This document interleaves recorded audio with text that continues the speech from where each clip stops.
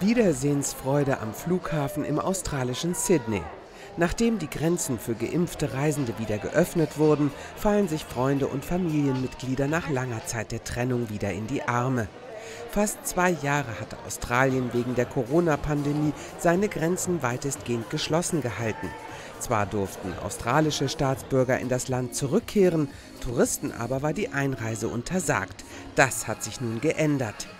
Ich hole meinen besten Freund ab. Ich habe ihn seit 2018 nicht mehr gesehen. Er hat es rechtzeitig zu meiner Hochzeit in vier Tagen hierher geschafft. Auch Großeltern und Enkel sind wieder vereint. Es ist großartig, dass sie wieder da ist. Sie wird zwar auch wieder abreisen müssen, aber sie kommt dann auch wieder. Auch das Bordpersonal freut sich über die Grenzöffnungen. Oh, es ist brillant, großartig, reibungslos. Ja, schön wieder Passagiere an Bord zu haben. Touristen füllen die Sitze, es ist fantastisch. In den ersten 24 Stunden nach dem Ende der Reisebeschränkungen landen 56 Flugzeuge aus dem Ausland in Australien. Der Tourismus kommt langsam wieder ins Rollen.